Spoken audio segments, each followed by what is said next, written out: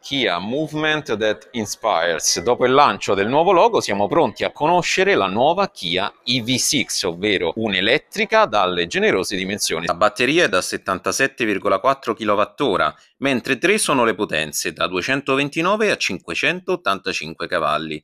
Ne consegue che le prestazioni sono esaltanti, uno scatto da 0 a 100 che viene coperto da 5,2 secondi a 3,5 con una velocità massima di ben 260 km/h sul modello GT. Sul portellone posteriore il nuovo logo che vi accennavo, notiamo linee veramente interessanti per questo che è un crossover del segmento D.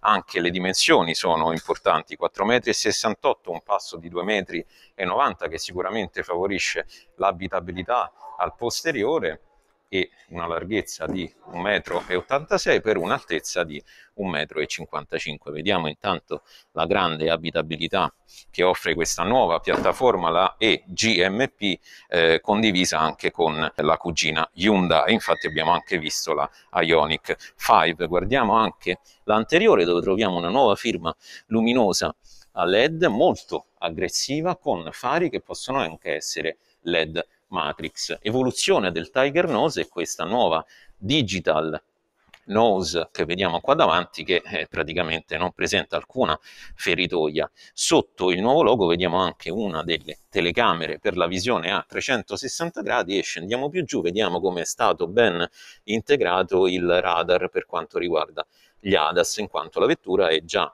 eh, pronta per la guida autonoma di, di livello 2 ma eh, eventualmente anche per futuri sviluppi.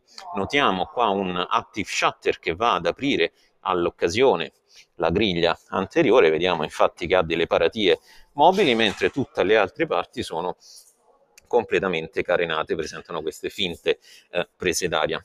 A proposito di carenatura, andiamo a dare anche uno sguardo sotto la vettura e vediamo che ha il fondo completamente piatto. Questo ovviamente va a ottimizzare l'aerodinamica. Molto bello poi il musetto qui spiovente che rende questa nuova EV6 davvero aggressiva.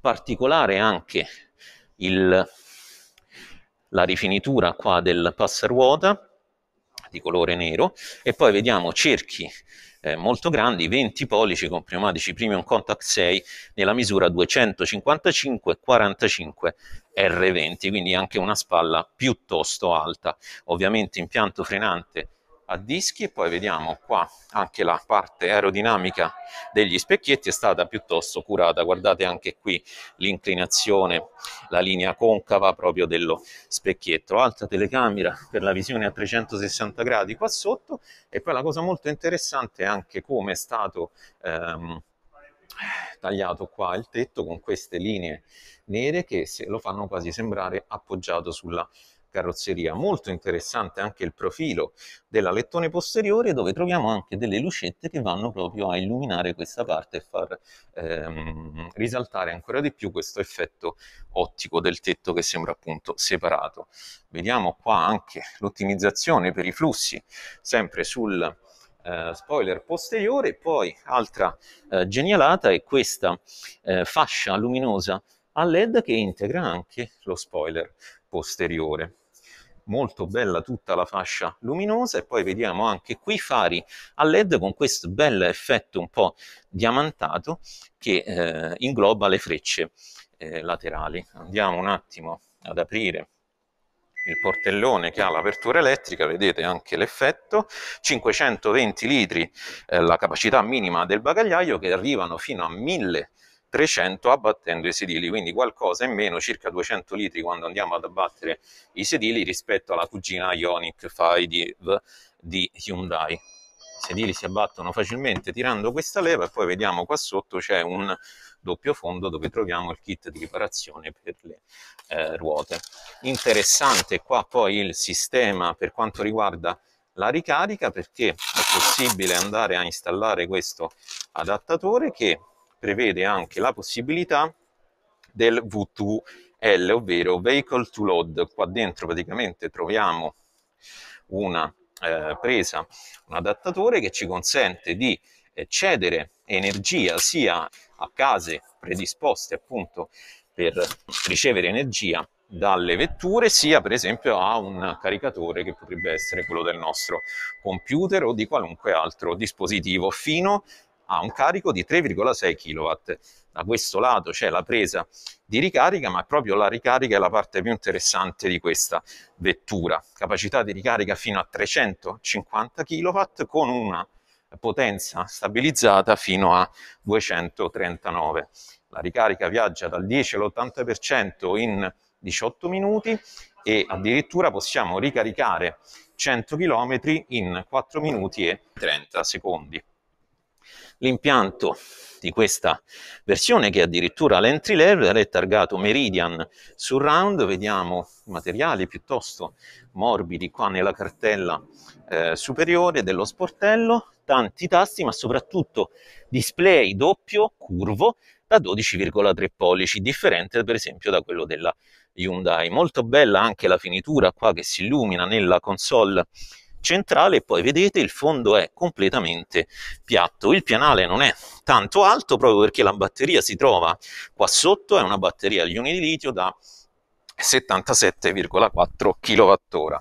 Eh, vediamo un piccolo sguardo agli interni, volante eh, doppia razza particolare e poi se riusciamo vediamo anche di accendere il sistema di infotainment come dicevo display da 12,3 pollici e poi molto bello anche qua la presenza di questi tasti facili da raggiungere. Anche qui se fosse illuminato vedremmo eh, alcuni tasti touch magari mettiamo delle immagini sopra comando per eh, le marce quindi drive parcheggio neutral e retromarcia telecamere a 360 gradi, guardate che bello anche il sistema di ricarica wireless per il cellulare che è addirittura ventilato. Pozzetto, ma poi la cosa straordinaria è che si possono andare anche a reclinare questi sedili completamente all'indietro avendo anche proprio un effetto di eh, quasi di divano di chaise longue veramente spettacolare e poi vediamo ancora la forma molto particolare qua dietro che magari consente anche di appendere una giacca. Materiali, questi che vediamo, sono eh, sia realizzati in PET riciclato come per esempio la parte qua superiore della eh, console centrale del cruscotto e poi vediamo qua interni in pelle vegana quindi molto attenta all'utilizzo dei materiali. Presa usb qua davanti e altre due qua sotto e poi troviamo anche un bel pozzetto nella parte inferiore della console centrale. Vediamo tanto spazio a disposizione per le gambe e possibilità anche di regolare lo schienale o abbatterlo direttamente da qua dietro. Vi faccio vedere come ultima cosa proprio l'abitabilità posteriore. Belle le bocchette qua ai lati, possibilità di riscaldare anche i sedili posteriori, prese USB comode a questa altezza e eh, dicevo impianto stereo della Meridian. Visibilità posteriore mm, da verificare quando la proveremo. Troviamo questo piccolo eh, vetrino nella parte del montante C tettino apribile elettrico.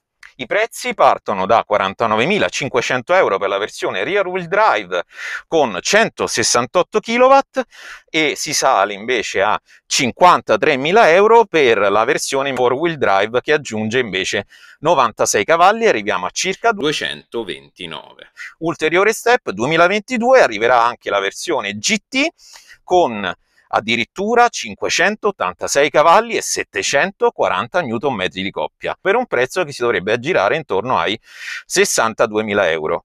E allora aspettiamo in trepidante attesa questa nuova Kia EV6.